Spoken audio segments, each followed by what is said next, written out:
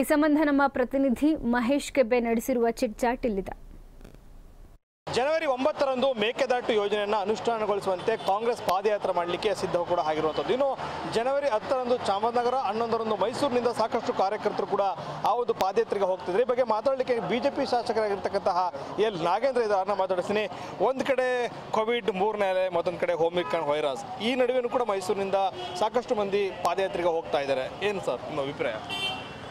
ನಾನು ಅವರಲ್ಲಿ ರಿಕ್ವೆಸ್ಟ್ ಮಾಡೋದಿಷ್ಟೇ ಇಷ್ಟೇ. ಕರ್ನಾಟಕ ರಾಜ್ಯದಲ್ಲಿ ಐದು ಸಾವಿರ ಚಿಲ್ಲರೆ ಇವತ್ತು ಕೊರೋನಾ ಬಂದಿರತಕ್ಕಂಥದ್ದು.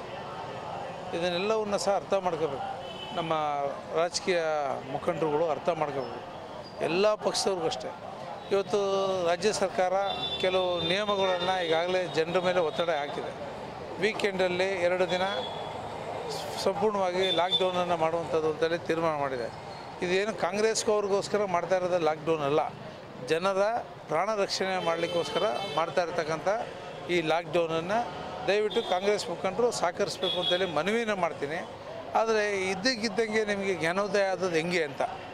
ಕಳೆದ ಸಿದ್ದರಾಮಯ್ಯನವರ ಸರ್ಕಾರ ಇದ್ದಂಥ ಸಂದರ್ಭದಲ್ಲೂ ಸಹ ಕೇಂದ್ರ ಸರ್ಕಾರದಲ್ಲಿ ಮನಮೋಹನ್ ಸಿಂಗ್ ಸಿಂಗ್ ಹತ್ತು ವರ್ಷಗಳ ಕಾಲ ನೀವು ಈ ದೇಶವನ್ನು ಆಳದಂಥದ್ದು ಕಾಂಗ್ರೆಸ್ ಅವರು. ಅದಲ್ಲದೆ ಎರಡು ಸಾವಿರದ ಹದಿಮೂರಿಂದ ಎರಡು ಸಾವಿರದ ಹದಿನೇಳು ಹದಿನೆಂಟನೇವರೆಗೂ ಸಹ ನೀವೇ ರಾಜ್ಯದ ಅಧಿಕಾರದಲ್ಲಿದ್ದಿರಿ. ಸನ್ಮಾನ್ಯ ಸಿದ್ದರಾಮಯ್ಯವರು ಮುಖ್ಯಮಂತ್ರಿ ಆಗಿದ್ದರು ಸನ್ಮಾನ್ಯ ಡಿ ಕೆ ಶಿವಕುಮಾರ್ ಅವರು ಮಂತ್ರಿ ಆಗಿದ್ದರು ಅವತ್ತೆಲ್ಲ ನಿಮಗೆ ಜ್ಞಾಪನೆ ಬರಲಿಲ್ಲ. ಅದಲ್ಲದೆ ಹದಿನಾರು ತಿಂಗಳು ಕುಮಾರಸ್ವಾಮಿ ಸರ್ಕಾರದಲ್ಲಿ, ಸಮ್ಮಿಶ್ರ ಸರ್ಕಾರದಲ್ಲೂ ಸಹ ನೀವು ಮಂತ್ರಿ ಆಗಿದ್ರಿ. ಸ್ವತಃ ನೀರಾವರಿ ಸಚಿವರು ನೀವು ಆಗಿದ್ರಿ ಅವತ್ತು ಜ್ಞಾಪನಕ್ಕೆ ಬರಲಿಲ್ಲ ಸನ್ಮಾನ್ಯ ಡಿ ಕೆ ಶಿವಕುಮಾರ್ ಅವರಿಗೆ. ಇವತ್ತು ಏನು ಅಷ್ಟು ಭಾಳ ಜನರುಗಳ ಬಗ್ಗೆ ಅಷ್ಟೆಲ್ಲ ಪ್ರೀತಿ ಬಂದ್ಬಿಟ್ಟಿದೆ ಅಂತಕ್ಕಂಥದ್ದು ನನಗೆ ಗೊತ್ತಾಗ್ತಾ ಇಲ್ಲ. ಇದನ್ನು ಅವರೇ ರಾಜ್ಯದ ಜನರಿಗೆ ಹೇಳಬೇಕು.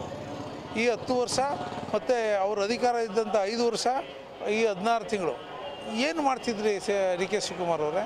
ಮತ್ತು ಈಗ ನಿಮಗೆ ಜನರುಗಳ ಬಗ್ಗೆ, ರಾಜ್ಯದ ನೀರು ಬಗ್ಗೆ ಇಷ್ಟೊಂದು ಪ್ರೀತಿ ಹೆಂಗೆ? ಈ ಕೊರೋನಾ ಸಂದರ್ಭದಲ್ಲಿ ನೀವು ಹಠ ಮಾಡಿ ಹೋಗುವಂಥದ್ದು ಏನಿದೆ? ನೀವು ಸಾಧನೆ ಮಾಡುವಂಥದ್ದು ಏನಿದೆ?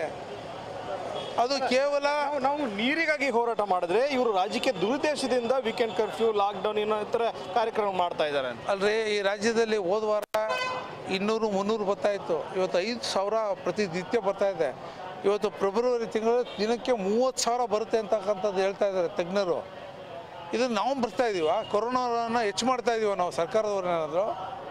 ಸರ್ಕಾರ ಇದೆಲ್ಲ ಕಡಿವಾಣ ಹಾಕಬೇಕು, ಜನರ ಜೀವ ರಕ್ಷಣೆ ಆಗಬೇಕು ಅನ್ನೋಕ್ಕೋಸ್ಕರ ಮಾಡ್ತಾ ಇರ್ತಕ್ಕಂಥ ವಿಚಾರ ಇದು. ಇದಕ್ಕೆ ಅವ್ರು ಸ್ಪಂದನೆ ಮಾಡಬೇಕಾಯ್ತು. ಮೊದಲೆಲ್ಲ ಹೇಳಿದ್ರಿ ವ್ಯಾಕ್ಸಿನೇಷನ್ನು ಡೂಪ್ಲಿಕೇಟು ನೀವು ಹಾಕ್ಸ್ಕೊಬೇಡಿ ಅಂತ ಜನರಿಗೆ ಅಪಪ್ರಚಾರ ಮಾಡಿದ್ರಿ.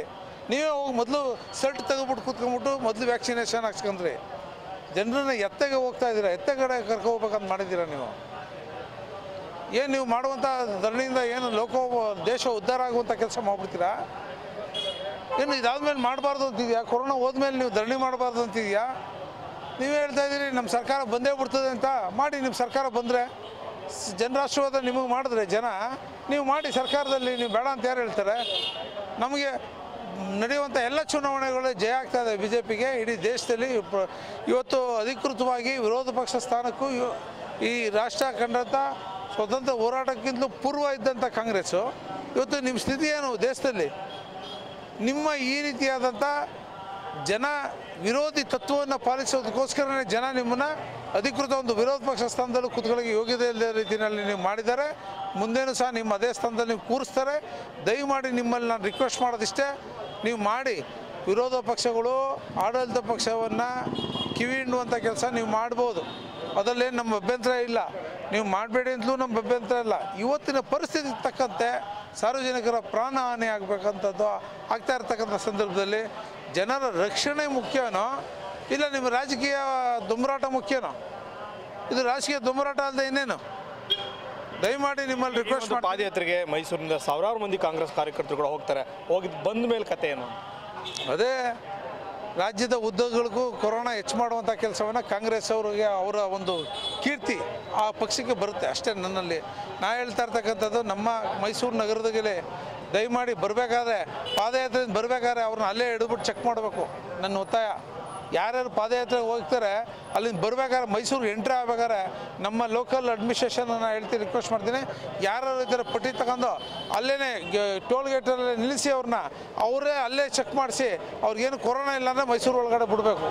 ಇವಿಷ್ಟು ಬಿಜೆಪಿ ಶಾಸಕ ಎಲ್ ನಾಗೇಂದ್ರ ಅವರ. ಕ್ಯಾಮರಾ ಪರ್ಸನ್ ಚಂದಮ್ಮನ ಜೊತೆ ಮಹೇಶ್ ಕಬ್ಬೆ ನ್ಯೂಸ್ ಕನ್ನಡ ಮೈಸೂರು.